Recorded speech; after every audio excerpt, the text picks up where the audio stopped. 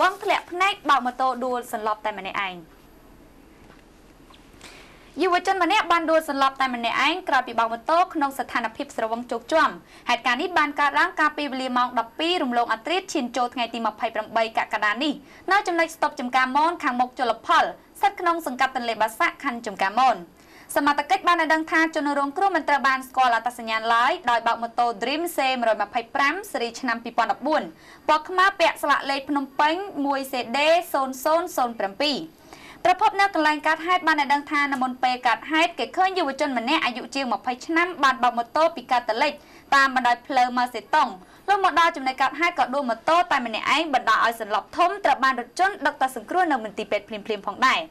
ក្រោយពេលកាត់ហេតុម៉ូតូត្រូវបានសមត្ថកិច្ចនគរបាលយកទៅរក្សាទុកនៅប៉ុស្តិ៍ទន្លេបាសាក់រងចាំម្ចាស់មកទទួលយកទៅវិញ។